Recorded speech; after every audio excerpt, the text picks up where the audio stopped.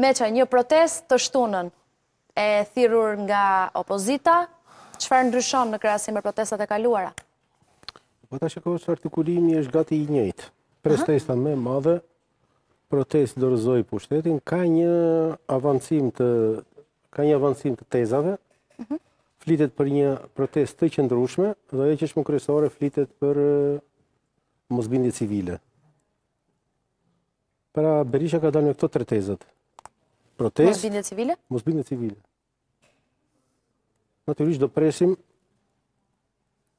do analizojmë kur të ndodhë ngjarja, deri ku do të vejë kjo protestë, sepse deri tani kemi parë që pretendimet ose artikulimet paraprake janë hiperbolike, dhe të qenët hiperbolike është karakteristikë e deklarimeve në politikën shqiptare, Realiteti nuk është i tillë.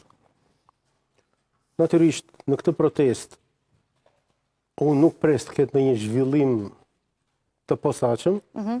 por kjo protestë ka disa synime politike që Berisha së bashku me Ilir Metën i ka projektuar për t'i realizuar nëpërmjet saj.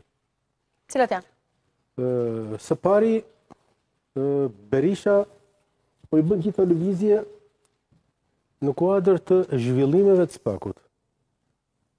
Zhvillimet e SPAK-ut janë zhvillime shumë serioze për jetën politike të Berishës. Së dyti, këto zhvillime po ndodhin po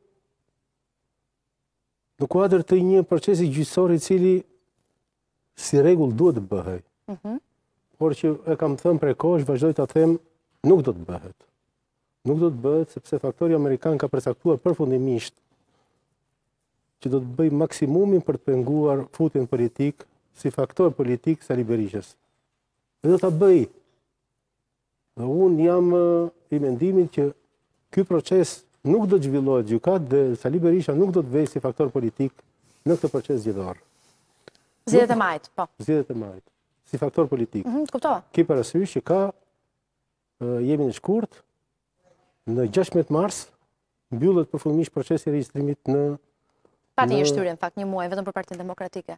Jo, nuk ka, sepse po ngatërrohet ajo. Pa po shpjego. Atëherë, Komisioni Qendror i Zgjedhjeve, në këtë fazë, duhet të regjistronte antarët e këzazeve. Mm. Dhe antarët e këzazeve, duke qenë që ka një procedurë të trajnimit, regjistrohen dy muaj përpara se të ndodhë, tre muaj më duket, përpara se të zgjedhë, ndodhë regjistrimi i partive. Të dyja partitë demokratike tashmë kanë shpënë kandidatët. Po çfarë ndodh?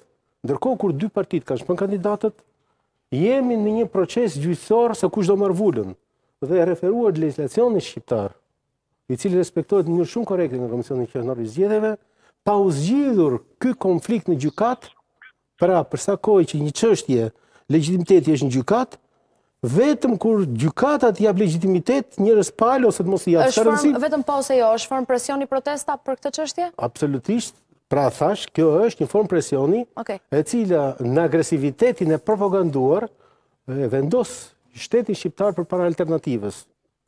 Ose ne do të destabilizojmë Shqipërinë, ose ju bëni gjyqin brenda këtij afati.